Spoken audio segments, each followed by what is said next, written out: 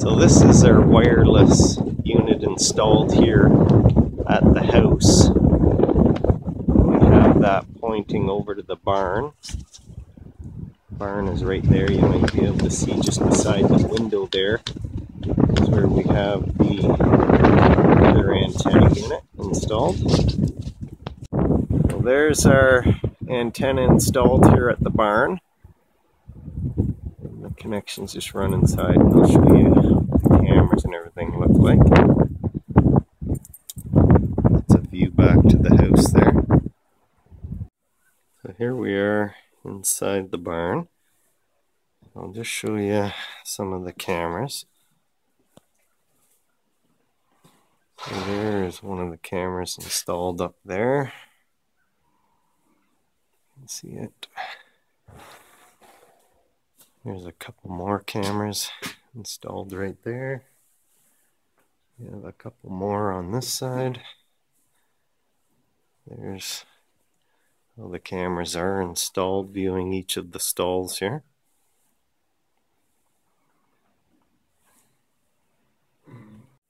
So this is the TV system. So there's a unit that you install at your TV and it picks up the cameras uh, that are installed in the barn. The signal is uh, HD. So, and it also comes with a remote control as you can see there. I'm just going to show you some of the options you have.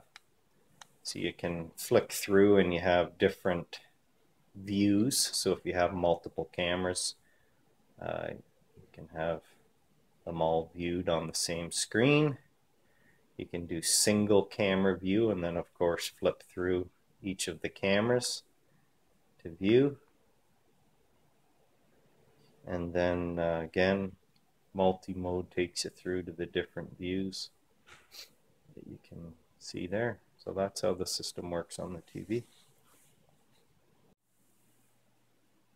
So there's the system working on an iPad. We've just installed the app on the iPad, and of course, the same app works on the iPhone, and uh, you can also install the app on any Android tablet or phone as well. So that's a six camera view. You have different settings there for multiple cameras. You can do a four camera view. You can tap on it if you want to view full screen. Tap again to go back to the four screen. So that's how it looks. So we're over in the other barn now. Uh, we're just looking at the house. Uh, the actual foaling and mare barn is behind the house. Um, but the customer wanted to have an internet connection in their office here. So we've uh, installed a couple of access points.